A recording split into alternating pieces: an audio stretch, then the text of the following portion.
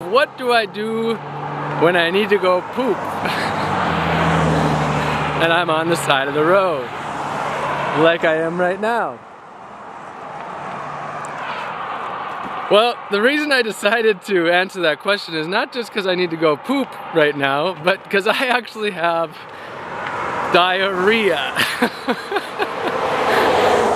and I just thought to myself, how idyllic of a scene this is for people that see me out here having this wonderful time, or all the people out there who are imagining like, man, every day he's got to find somewhere to go poop. Well, I don't just have to find somewhere to go poop once today. It's like I gotta continuously look for a place to poop. And sometimes it's a couple miles or at least a half mile or mile before I find a spot. So imagine out there that you have diarrhea, which probably all of you have experienced. And most of you, when you have diarrhea, you just gotta walk to the next room to go to the toilet. Well, I gotta hold it in for like a half mile or a mile. And it's, it's actually, it's actually been a kind of painful experience. And so this is just a reality of uh, the experience and I'm sharing it because primarily I just wanted to take you along for this unique little aspect of life. Um, because I know it's the type of thing that most people probably do wonder, but very few people will ever actually answer. so I am interested in answering the questions that are the most that you would be like most embarrassed to ask or you think I wouldn't want to answer. And I invite you to ask me those questions. Why? Because what I'm into is deeply analyzing life. And the way that we stay sort of delusional and honestly separate is if we don't ask the deep questions. And that's the deeper reason why I'm willing to talk to you about something that would otherwise be very embarrassing and do it with a level of like comfort and confidence. Like here I am talking about where I'm gonna go poop, something that most people honestly would be terrified to be, you know, having to do, like poop on the side of the road. So on that note, I've just come to a spot. I'm gonna keep this location disclosed, but I've got my Hori Hori, which is a type of garden knife. I have it wrapped in cloth And I will have you know, the poop never touches this knife because I dig the hole with it and then I bury the hole and the, the knife does not have poop on it. You don't have to worry about that. so, complete transparency, occasionally you poop on yourself. I mean, it happens. We've all done it. We've all done it. Probably. Yes, we all have because we were all kids once and we'll all grow old once. And we all have it happen occasionally in between as well. And it's fine, it's fine. It's not gonna hurt us, it's not gonna kill us to talk about it. So this is why I'm talking about poop. This is why I've got my shovel uh, and I am heading to the woods and this part of the experience I am not taking you in on. Now Forrest Gump is an inspiration of mine and the movie is my favorite of absolutely all times. And there's a scene where he steps on poop and someone says whoa you just stepped in a giant pile of dog! And he says it happens. And he's talking about poop what poop happens. Or as some would say S-H-I-T and so it happens. And you know what just happened I may have gotten a little bit of poop on the shovel and I definitely accidentally got some on me. Whew. Which brings me to my very last point. Over the next few months, I am going to be sharing all of the things that I have been embarrassed about, all the things that I've been holding back, all the things that I've uh, guarded or protected.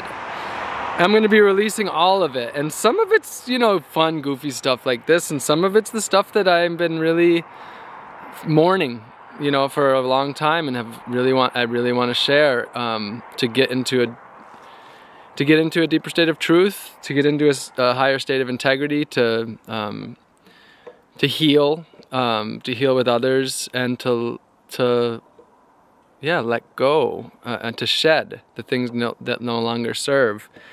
And um, so that's what I'm going to be doing over the next few months. And I invite you to uh, hear with me. Um, by the time I get to Los Angeles, I'm going to have released it all um, by writing and by video and publicly. So I'm not, I'm seriously not going to be hiding anything. I want to live in complete transparency radical, radical transparency. And I want to experiment with the concept of having, yeah, like I said, absolutely nothing to guard or nothing to hide, and what that can do for me as a, a servant to, to humanity.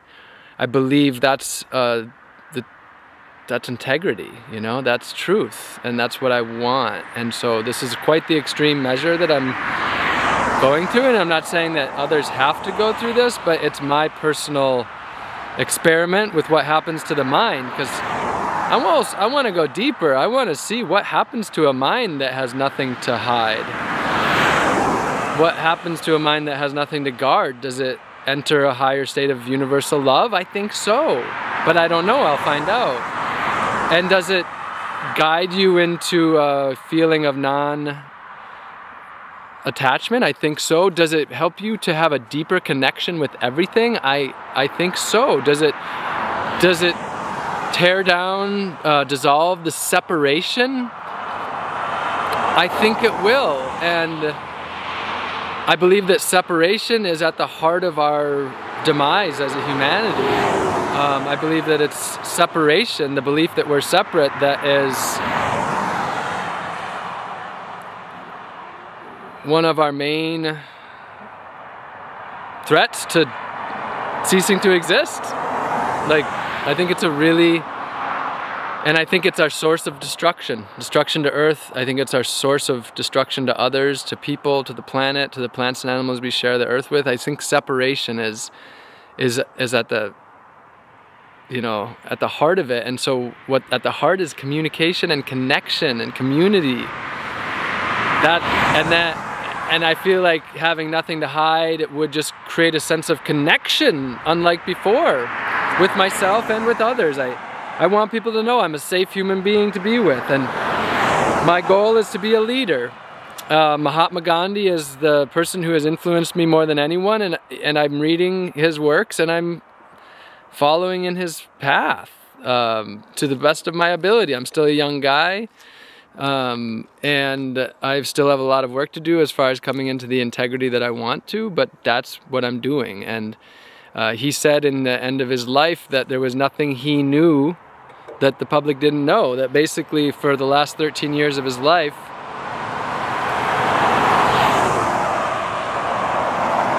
everything he did was for the service of the people and that's what I want to get to and I'm far from that I'm you know I'm far from that but that's my goal is to be of service. It's been for a long time.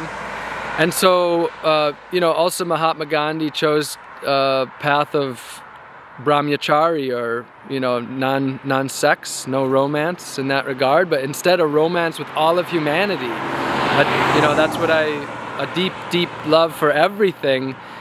And I believe that that's the path for me as well. And I'm 20 months in after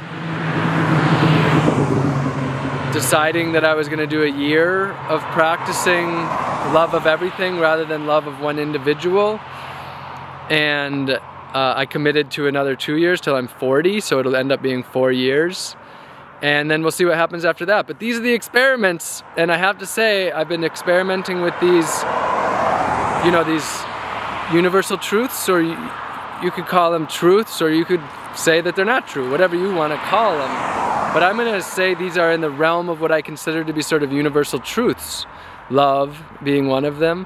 And I'm experimenting with them and I have to say that um, it's been life transforming, life transforming incredibly over the last three years of practicing nonviolent communication, um, practicing Vipassana, which is 10 day silence meditations, practicing silence, practicing wholeness and completeness within. You know, you, you haven't seen as many of my videos lately of like, you know, I live in a tiny house or here's all the possessions that I own or, or uh, I'm growing and foraging all my food, but I am on a big adventure, just as big as those. Um, but it is much more inward and but it is incredibly transformational and my intention is to keep doing that and my intention is to embark on some of the more the, the most radical experiments that I could possibly come up with as a way of uh, testing my mind and growing. Um, and this is an example what I just shared about coming into complete truth. And there's others that I am planning to embark on in the months and years ahead as a sense of, for deep observation, deep observation of the mind, my own mind, but doing it in a public way where I am of service with the idea being that if I can so deeply analyze my mind that the only way if you're in my presence is to see that that I'm analyzing my mind. Does it stimulate others to analyze their own minds? And my hypothesis is absolutely. Being out there in love creates love. Being out there in critical thought takes critical uh, makes critical thought um, and I think one of the tenets of us coming into harmony is to deeply to go deep inside of ourselves and make sure we are the change we wish to see in the world and those are, that's the path that I'm following. And so I'm, I'm really happy to be on this path with a lot of you. Uh, I know that a lot of you have been on this journey with me for a long time and we're all growing together and um, all of us at different rates. And I'm grateful for all of you growing with me and helping me grow, keeping me accountable. You are what keeps me going actually. The reason I'm in integrity is because I have people to be integral for. I'm really uh, grateful for all of you. There's so much more that I could share, but um, I gotta keep walking. All right, love y'all. One last thing whole about the whole knife thing. I just want you to know I have soap and I have water and I managed to have impeccable hygiene out here. So don't worry about that. I forgot to answer that at the very beginning and that was kind of why I came back on in the first place. All right, love y'all.